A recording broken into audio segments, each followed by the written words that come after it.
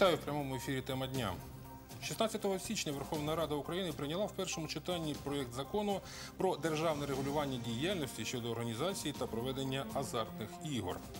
Отже, про те, що корисного і що негативного може принести легалізація грального бізнесу, говоримо з нашим сьогоднішнім гостем. В студії Володимир Євсєєв, директор регіонального фонду підтримки підприємництва у Миколаївській області. Вітаю, Володимире. Добрий вечір. Ми працюємо в прямому ефірі. Нагадую, телефон студії незмінний 76 92 33. Ну і перш ніж перейти до прийнятого вчора в першому читанні законопроекту, пропоную невеликий екскурс у недавню історію. 210 об'єктів грального бізнесу на Миколаївщині було закрито. Зафіксовано 16 кримінальних правопорушень. Повідомила прес-служба Національної поліції в Миколаївській області 21 грудня 2019 року. Це результати роботи за один день після прийняття постанови Кабінету міністрів України про протидію гральному бізнесу. Сюжет від 21 грудня наших колег зі служби новин Олександра Греся, Сергія Коропятника та Василя Філімона.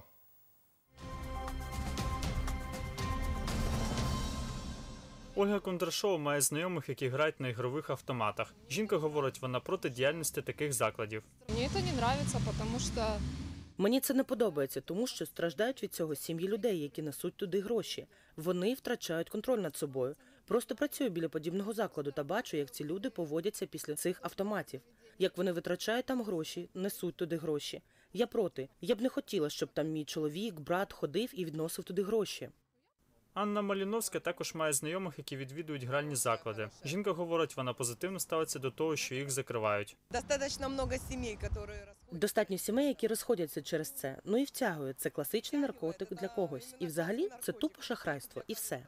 20 грудня 2019 року набула чинності постанова Кабінету міністрів про протидію гральному бізнесу на території України. Про це розповів Арсен Аваков, міністр внутрішніх справ. Постанова Кабінету міністрів зараз е, опублікована і набула, набула чинності. Тобто, вона полягає в наступному. Два пункти. Скасувати наказ Державного комітету з питань регуляторної політики та підприємництва Міністерства фінансів від 12 грудня 2002 року в частині діяльності розповсюджувачів лотерей, Національної поліції і Державної фіскальної служби забезпечити вжиття відповідних заходів і так далі. Як буде прийнятий новий закон, всі гральні заклади, а також моментальні лотереї, покерні клуби, таке інше, повинні бути зачинені. Правоохоронці Миколаївської області спільно з Державною фіскальною службою проводили перевірку незаконної діяльності гральних закладів. монітор марки LG та клавіатура, е, яка, яка показує онлайн підтримку. До нього підключений системний блок. Системний блок з Wi-Fi.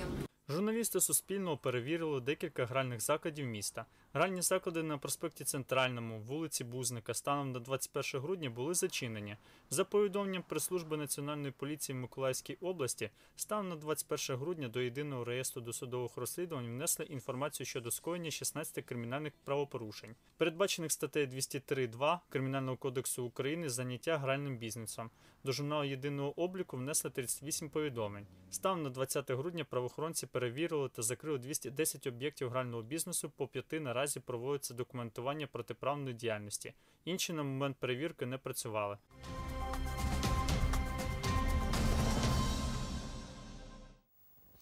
Володимире, враховуючи те, що відбулося 20-21 грудня 2019 року, і той факт, що ще 2009 року гральний бізнес в Україні був заборонений, то чи дійсно його не існувало протягом цих 10 років? Он был всегда. Более того, он даже был э, при Советском Союзе, потому что э, ограничить, э, остановить человека от азарта, от каких-то вот таких нехороших, э, с, моей, с вашей точки зрения, с точки зрения зрителей, которые вот здесь выступали в том числе, практически невозможно. Человек хочет, он хочет э, употреблять алкогольные напитки, он хочет э, реализовывать себя в, в азарте, он хочет промчаться на машине или на мотоцикле с большой скоростью и так далее и тому подобное. А, Здесь э, культура восприятия обществом наша немножко неправильно была построена с самого начала. Поэтому и вот такие игровые э, аппараты, такие, та- такие технологии были повсеместно внедрены. Ведь вспомним, что прийти домой, вот я считал специально от завода «Заря», э, гражданину, который живет на улице, допустим, Авангардная или Южная, он проходил мимо 15-17 точек игровых э, вот таких вот столбиков. Помните, были в те времена? Це який період? Это было До вот, э, 2009? да, до 2009 года. То есть это э, не позволяло ему прийти нормально домой, э, не спустив зарплату или все деньги, которые у него находились в кармане. И поэтому тогда это была определенная победа. Но, э, понимаете, э, святое место пусто не бывает. Вот. И тогда началась работа в другую сторону. Тогда э, с улиц ушли эти э, игровые автоматы, они перешли э, в э, помещения за закрытыми окнами, зашторенные, с надписями самыми разными, и расплодились по всей нашей стране. По самым разным оценкам, от 3 до 5 тысяч игровых залов работало вот до недавнего времени на территории Украины. Это колоссальное количество.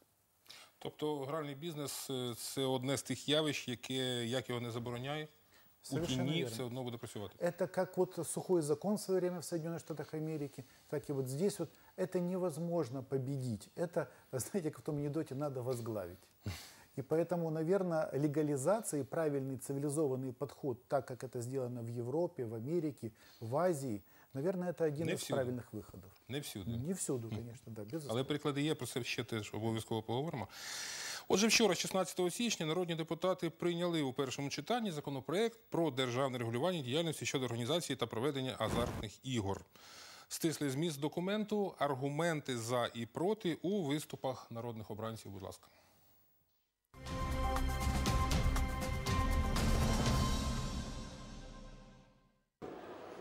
У проєкті закону ми запроваджуємо принцип відповідальної гри та дозволяємо грати тільки після 21 року. Таким чином, чітко регламентуємо відповідальність бізнесу за провокацію та сприяння ігровій залежності лудоманії.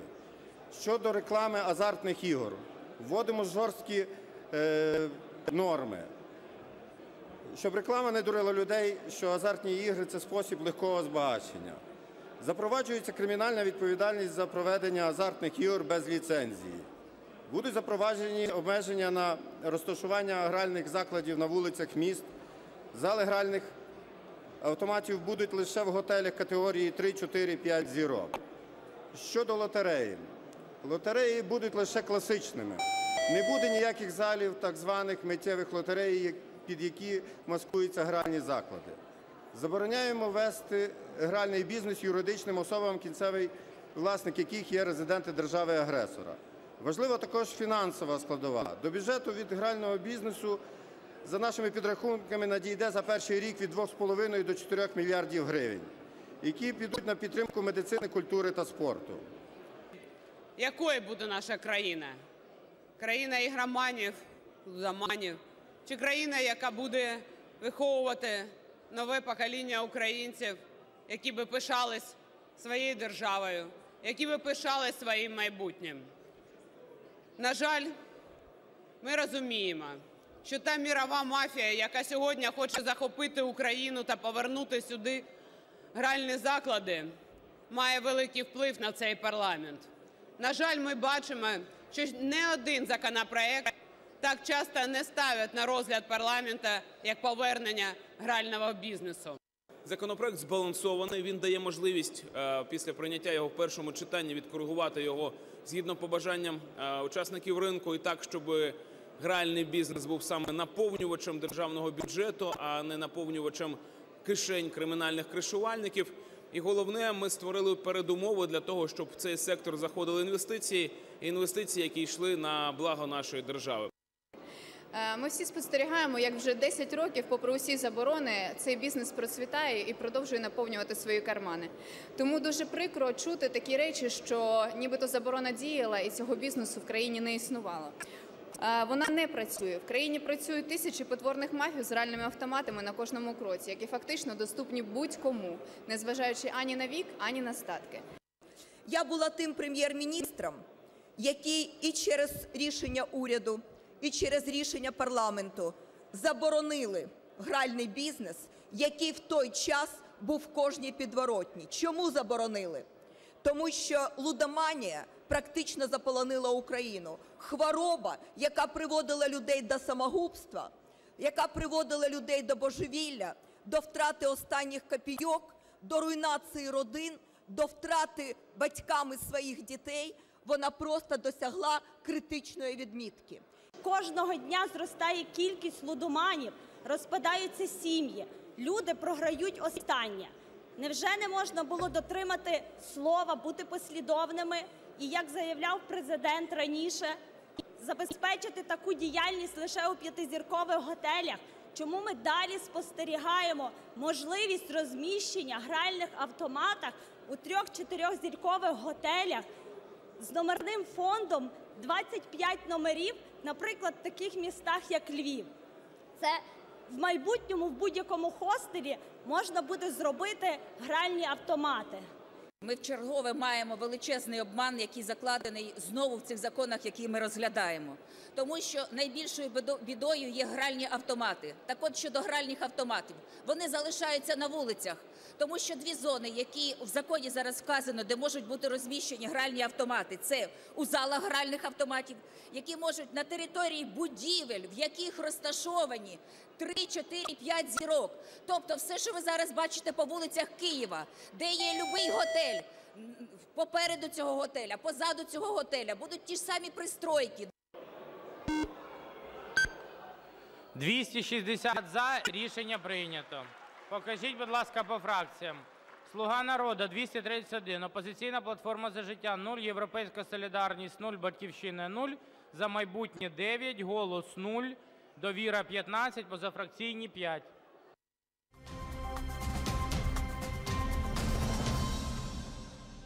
Ну, проз- прозвучала мотивація за і проти. Е, ну, перше, про що я хотів би вас спитати, якщо ви в курсі, а чому в готелях? І від зірковості, ну зрозуміло, їх кількість таких точок залежить від зірковості. Але чому саме в готелях і лише в готелях? А, Да, это опять-таки э, опыт мирового сообщества, которое правильно использовал подобную технологию, где э, казино привязано непосредственно, или игровой зал, не принципиально, привязан именно к отелю, и владельца отеля э, стимулируют строить большой красивый комплекс, таким образом э, он получает лицензию на, на вот такую деятельность. Щоб мати можливість Да, заробляти. да, чтобы иметь возможность, иметь э, возможность зарабатывать дополнительный доход. Более того, э, туда приезжают люди отдыхать, в том числе для того, чтобы получать возможность играть. Потому что игра, как правило, происходит не утром и не днем, она происходит в вечернее, в ночное время. То есть казино работает, по- в общем-то, круглые сутки, но э, в в фешенебельных отелях оно работает в основном ночью. То есть люди приезжают, размещаются, платят опять-таки деньги, образуют добавленную стоимость для этого отеля и спускаются вниз в казино. Тобто виходить п- просто певне обмеження, щоб не казино заради казино, Да. а казино совершенно. як А- частина. А, казино как часть стимулирования строительства отелей. Потому что на самом-то деле э, развитие туризма без э, развития отельного хозяйства практически невозможно. То есть здесь присутствует как бы такая палка о нескольких концах, даже не о двух. Ну, на початку програми ви вже в принципі висловили своє ставлення до проблеми, е, але е, хотів поцікавитись, мотивація е, противників не справила на вас ніякого враження? А, Я тот человек, который не играет, никогда не играл, и как гражданин, как муж, как отец э, категорически против азартных игр. Но я понимаю, что э, бороться с этим запретными ме- методами невозможно, только лишь просветительство. И коли уж просветительство работает вот так вот, а вернее, скажем так, оно не работает никак, значит, это надо упорядочить. Значит, надо сделать так, чтобы действительно был полноценный контроль. Ведь по большому счету это может быть очень серьезная статья наполнения бюджета.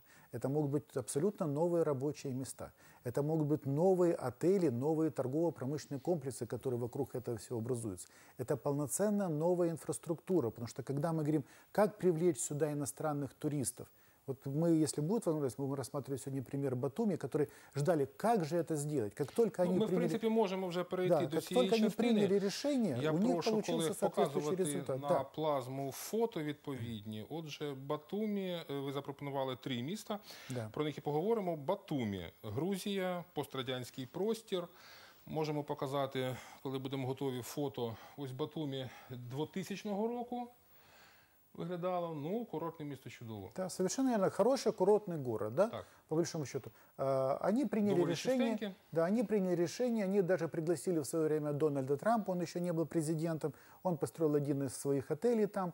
А, И э, строительство отелей было привязано к выдаче лицензии на казино. Лицензия, она выдавалась им бесплатно. То есть ты строишь отель и получаешь, не помню, на 3 то ли на 5 лет возможность строить казино. И вот если мы сейчас увидим на, этой, на следующей ласка, фотографии... Батумі 2020 року. Э, Обращаю ваше внимание, это э, реально сотни новых рабочих мест, причем хорошо оплачиваемых мест, а может быть даже тысячи, потому что вокруг этих отелей э, инфраструктуры, э, рестораны, э, кафе, э, развилась э, система такси и прочего сервиса. Туристический бизнес процветает в этом городе, а разница между фотографиями каких-то 20 лет. Причем у власти, какие были люди, приблизительно такие же остались. Но смотрите, что они сделали всего-навсего, изменив политику отношения к азартным играм. Причем э, половина из участников этих э, казино – это иностранные гости. Ну, все ж таки, в другій половині 2000-х серйозні реформи відбулись у Грузії, в тому числі антикорупційні, можливо, і це допомогло. Безусловно. Так. Е, чим ще раз нагадую цікавий для нас цей досвід, тому що це пострадянська країна. Совершенно верно. Это э, страна, к которой нас часто сравнивают. Вроде бы как мы чем-то похожи. И там агрессия, и здесь агрессия, и там люди за независимость, и мы здесь за независимость. Там рада- люди любят работать, у нас люди... То есть а, огромное количество студентов из Грузии у нас всегда училось в в Национальном университете имени кораблестроения. Мы знали действительно менталитет. И поэтому пример невероятно хороший. Они приезжают к нам, в том числе э, представители от Батуми, были пару лет назад у нас в Николаеве с, э, и демонстрировали, вот как они развивают подобный бизнес. Якщо вам відомо, яку саме частину ось необхідних інвестицій дав безпосередньо гральний бізнес? Э, Не могу ответить на этот вопрос. Просто Але ви пов'язуєте безпосередньо ці Одно- однозначно, потому что они говорят, э, каждый раз, когда э, звучало на предложение иностранным партнерам строить отель, и э, как только мы объявляли, что будет лицензия на казино, вот, и лицензия на 3-5 лет бесплатная вообще, у них сразу по-другому менялось отношение. Говорят, да, мы входим, мы работаем. То есть и опять-таки аэропорт, да, мы говорим о нашем аэропорту, Батумский аэропорт, Сегодня принимают рейсы, садятся каждые буквально 20-30 минут, садится самолет из-за рубежа, везут гостей куда? Причем, обратите внимание, круглый год. Тобто Это можна припустити, що в даному Да, разі да. гральний бізнес це не інструмент викачування грошей із місцевого населення. совершенно верно. С- на- как- наоборот, это дает местным жителям возможность работать. Работать, зарабатывать, официально зарабатывать хорошую заработную плату и возможность привлекать сюда иностранных или жителей там, других э, регионов, которые будут приезжать, прилетать сюда и таким образом э, тратить опять-таки свои деньги, получать удовольствие, сомнительно, но все-таки удовольствие.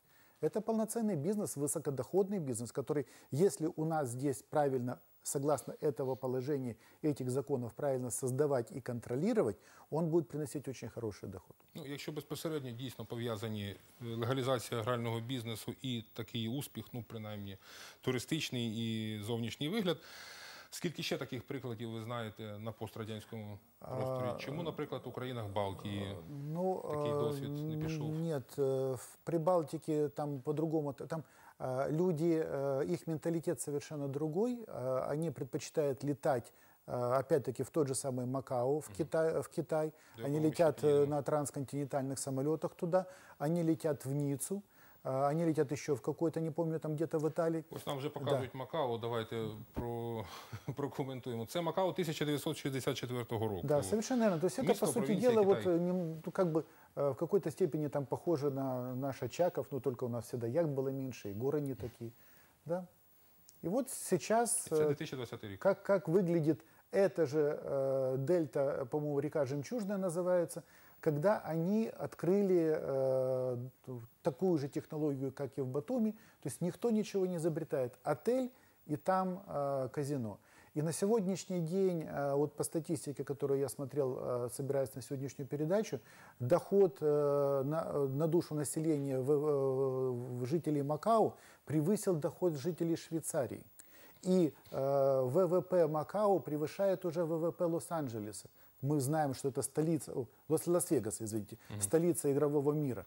Вот, нас- то есть это новая жемчужина, которая появилась буквально несколько лет назад, и все игроманы со всего мира туда летят. Ну і Лас-Вегас, власне, теж Да. можемо проілюструвати. Найвідоміше місто гравців.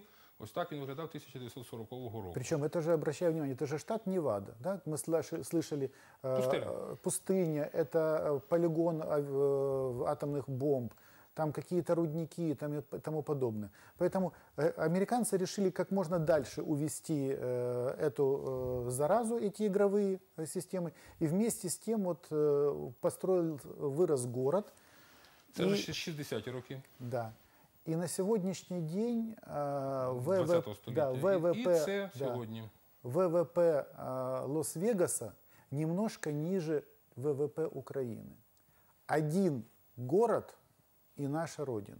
Я бачив дані по штату Невада, що він приблизно однаковий. Да, Ну, я, я гадаю, да. що Но Лас-Вегас, это были данные мабуть, 2015 головні года. податки Да. саме Лас-Вегас дає до бюджету Невади. Е, виглядає все гарно. Але чи можна говорити, що в легальному казіно немає місця для криміналу, криміналітету? Ну, э, опять-таки, э, исходя из того, что мы... вот Какая красивая да, фотография.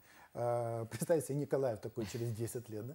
Ну, в принципе, вполне реально хотя бы частично. Помечтать-то можно. Э, Мы видим в кино, что э, в казино всегда какие-то преступные группировки. Там кто-то что-то жульничает, где-то еще что-то. Ну, мабуть, тому що Да. грошей багато Да, на, на, самом, на самом-то деле уровень безопасности э, в этих отелях и в этих игровых системах, в легальных, такой высокий, что там это практически невозможно. Туда невозможно зайти наркоману, туда невозможно, не может зайти человек с оружием, с пистолетом. Если однажды ты там жульничал и тебя уличили там в каких-то э, подделках во время игры, то ты попадаешь в черную базу и тебя уже больше туда никогда не пускают. Люди приходят туда полноценно отдыхать и расслабляться. Понимаете, вот мне, как человеку, который не азартный, понять этих людей сложно. Но я вижу, какие они счастливые, потому что я иногда бываю в том обществе, они приглашают меня, ну, по разным причинам, потому что я не азартен, я могу остановить азартного игрока. Да, то есть есть тоже такая работа интересная. Вот, но я вижу, как они получают от этого удовольствие. Они тратят свои собственные деньги, поднимая благополучие отдельно взятого края, и не боятся ни за что. Они не боятся, что им нахамят, что их кто-то ударит, что их кто-то кто обворует. Поэтому правильно постановлены, поставленный закон и его соблюдение, вот тут, вот знаете, возникает просто некоторое сомнение. Я э, очень хочу верить, потому что ну, у нас другого выхода нет. Но представить себе, что вот завтрашнего дня э, и послезавтра, и тогда, и вот то, что чет- сли- почти 5000 этих игровых мест, они закрылись навсегда, и у нас только начнут открываться при трехзвездочных и так далее отелях, вот здесь я немножечко сомневаюсь. Потому что это очень большие криминальные деньги. По оценкам разных экспертов, а, в те семьи, которые контролируют, две семьи, которые контролируют э, в Украине игровой бизнес, вот этот, ежедневный доход, который туда заносили, 1 миллион долларов. 1 миллион долларов в один день. Скажите, кто от этого может отказаться? Так просто скажите, все, вот я буду соблюдать закон, я не буду это делать. Хоча за один день, е, принаймні на, на Миколаївщині, закрили понад 200 точок і 16 кримінальних Вот, справ. э, Тобто, коли да, є рішення, это- это можливо, факт. воля. Это факт, это факт. А буквально А- на а коли днях, їх нема? да, буквально на днях э, я встречался с службой э, стандартизации метрологии нашей Николаевской, и они как раз рассказывали о э, системе сертификации наших николаевских отелей, у кого там три звездочки, у кого две звездочки и тому подобное. То есть на сегодняшний день у нас есть реально два отеля, которые имеют три звезды в Николаеве. вот больше звезд нет ни у кого, но они еще не обращались раньше, потому что они не видели в этом целесообразность. Сейчас вот отель будет, ну, ну, как мне кажется, он будет стараться сделать все возможное, чтобы пройти соответствующую сертификацию, э, отстоять право получить соответствующую звезду, которая поможет ему открыть казино. Это опять-таки, это доход внутренних государственных систем от того, что будет улучшаться качество работы отелей, будут появляться новые звезды. Иностранные туристы, командировочных, ведь у нас их много, они будут обращать внимание, в каком отеле селиться, потому что у него есть звезда, а не какая-то сомнительная рекомендация кого какого-то, значит, блогера или э, системы э, международного туристического бронирования. Это развитие общества. Ну, только при условии того, что оно должно делаться действительно в рамках закона, э, с хорошими помыслами и чистыми руками. У нас близько двох хвилин залишається, і не можу не торкнутися власне цього питання. Звучало і в сюжеті з Верховної Ради як мотивація противників легалізації, те, що це е, велика проблема, яка переростає із психологічною для тих, Да. хто не може зупинитися, або сподівається виграти, можливо, потрапивши в ситуацію, коли немає де знайти грошей. І те, що можуть цілі сім'ї просто залишитися без грошей, без житла. Як наскільки захищені українці від цієї А, проблеми? Вот представить себе, что этот закон вот в том виде, ну, наверное, все-таки, может быть, не столько трехзвездочный отель, сколько пятизвездочный. Тогда бы у нас, правда, в Николаеве ничего не появилось бы такого скоро. Ближайший был бы, может быть, даже в Одессе. Тобто хотя... просто місцевих не пускатимуть? Так в том-то и дело, что получается, что по- по- появится определенное ранжирование. Ведь обыкновенный наш местный житель мог зайти в вот эти вот ганделики, так называемые игровые, просто проходя мимо. И неважно, сколько ему, 16 лет, 25 или 70 лет, ему всегда были рады, что он оставлял там деньги. Теперь он будет заходить в отель, где будет соответ- соответствующая портье система безопасности, которая фиксирует всех, кто заходит на эти на камеры, и будет понимать, он будет э, показывать свой какой-то документ, подтверждающий, что ему больше 21 года. Более того, если он выглядит неряшливо, если он человек, видно по нему, что он страдает, его туда не пустят, потому что там будут присутствовать люди, которые приехали в этот отель чувствовать свой комфорт, получать удовольствие. И они за одним столом с ним не захотят находиться и в одном зале. Поэтому, естественно, появится ис- искусственный отбор такой. Не естественный, искусственный отбор. Но этот отбор будет играть на то, что э, обыкновенный рабочий парень не сможет проиграть свои деньги, ему будет негде, если будет работать жесткое правило соблюдения этого закона и не появится опять теневой рынок. Дякую, Володимире. Нагадаю, е, шановні глядачі, що е, сьогодні йшлося про законопроєкт, котрий поки що проголосовано в першому читанні. Можливі ще зміни, можливо, більше про нього дізнаємося. І, можливо, повернемося до цієї теми знову в цій студії. Дякую вам. Дякую всім, хто був з нами.